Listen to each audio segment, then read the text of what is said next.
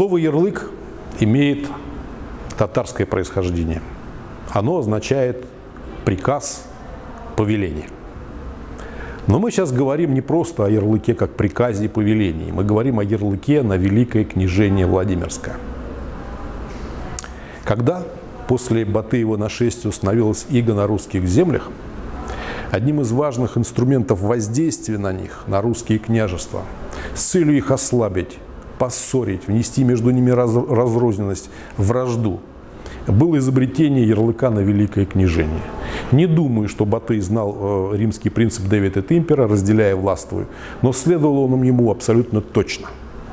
Когда впервые был, что называется, пожалован ярлык на Великое княжение русским князьям. Это было почти сразу после Батыева нашествия, то есть в 1243 году. И получил первым этот ярлык русский князь Суздальский Ярослав Всеволодович. Надо сказать, что нашему герою Дмитрию Донскому он приходился пра-пра-прадедом и был отцом очень известного благоверного князя-воителя Александра Невского. Еще одна важная вещь, связанная с Ярославом Всеволодовичем. Он не только получил ярлык на Великое княжение, но он был и основателем, прародителем двух династий, которые потом века будут драться за этот ярлык. От его сына Ярослава, Ярослава Ярославовича, пошла Тверская династия. А от его внука Даниила Александровича, сына Александра Невского, пошла Московская. То есть такие родовые корни у них были абсолютно одни и те же.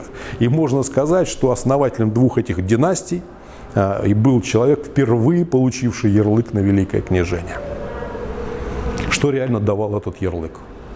Но он как бы признавал старейшинство князя, который получил этот ярлык, вот, ну, контроль за сбором дани, вот такое, пожалуй. Вот больше ничего. Мы даже толком мы не знаем, как выглядел сам ярлык. Это могла быть некая грамота, скрепленная круглой красной ханской печатью. Некоторые историки говорят, что это мог быть э, богато, так сказать, э, богато узорчатый, так сказать, э, кушак, пояс. Может быть, это было особое поясце. Но во всяком случае никто не знает, как физически выглядел ярлык на Великое княжение. Но вот переходы ярлыка от одного князя к другому, от одной фамилии к другой, они в истории прослеживались очень четко и фиксировались летописями. Нас с вами, конечно, интересует эпоха Куликовской битвы. Вот время, когда накануне нее этот вопрос решался, и решался очень остро, потому что черная смерть, как мы помним, она смешала карты престола наследия, убив и Семена Гордого, и его детей. А, может быть, из-за нее умер и Иван Красный, и на престоле неожиданно московском оказался, так сказать, девятилетний мальчик Дмитрий Иванович, будущий Дмитрий Донской. Как тогда, вот в его время, вырисовывалась эта конфигурация? Кто боролся за ярлык на Великое княжение прежде всего? Не совсем были отложены в архив великие князья Тверские – но все-таки после Тверского восстания 1327 года, которое было подавлено не только ордынцами, но и русскими войсками Ивана Калиты, деда будущего Дмитрия Донского, значит, а, тверичам была нанесена очень тяжелая рана, очень тяжелая. И несколько тверских князей, так сказать, а, в связи с этой историей погибли, и Тверь надолго потеряла ярлык на Великое княжение. Многим казалось, что уж и навсегда. Кстати говоря, в этом, с одной стороны, был плюс для Дмитрия Ивановича. Как бы задавнело уже ощущение, что москвичи владеют ярлыком на Великое княжение. Но был и минус. В сознании народном, в народной памяти, тверичи выглядели как князья-борцы за землю русскую, князья, готовые к жертвенной смерти за други своя, за свой народ. А москвичи а как правители, князья московские, как правители, которые всегда шли на компромисс с Ордой и на угодничество перед ней, лишь бы получить ярлык на Великое княжение, и были готовы вместе с ордынцами нападать на другие русские княжества. То есть вот такой портрет народный у московской династии, у Калитовичей, был скверный, а у Тверичей героический. И э, важные деяния Дмитрия Ивановича, будущего Дмитрия Донского, состоят не только в Куликовской битве, но и в том, что вот этот героический ореол воинов за землю русскую, он перешел к Москве. Он перешел к Москве благодаря его героизму. Но вот тут какой героизм? Ребенку 9 лет. Пусть рано взрослели дети эпохи войны и чумы, но все-таки 9. А ему нужно ехать в Орду для того, чтобы получить ярлык на Великое княжение. Смерть его отца, пришедшая на 1359 год, совпадает с годом, когда уж раньше зародившаяся замятня, смута, гражданская война в Орде стала великой замятней. 1359 год, убит хан Бердибек, вот с этого времени считается 20-летняя Великая гражданская война. 59 год. И вот здесь это только усложняет ситуацию. А кому, собственно, должен ехать этот мальчик в сопровождении Великого посольства монгольского? К сарайским ханам, к властителю Западной Орды Мамай, к его марионеткам.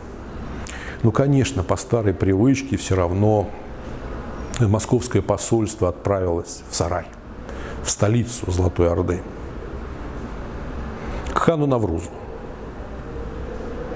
Подчеркнем, в посольстве не было митрополита Алексия с его колоссальными возможностями, гигантским умом. Вот, тогда тяжко ему приходилось, он не избежал даже литовского плена. И ехало это посольство презентовать девятилетнего своего великого князя Московского. И не произвел он впечатления на Навруза. Москвичи не оставили этих попыток, и на следующий год вновь поехали туда же, но уже к другому хану. Вот она, э, наглядное, так сказать, подтверждение великой замятни в Орде. Да, год хан, год хан, несколько дней иногда. Это был уже хан Хызр, 61 год. И вновь неудача.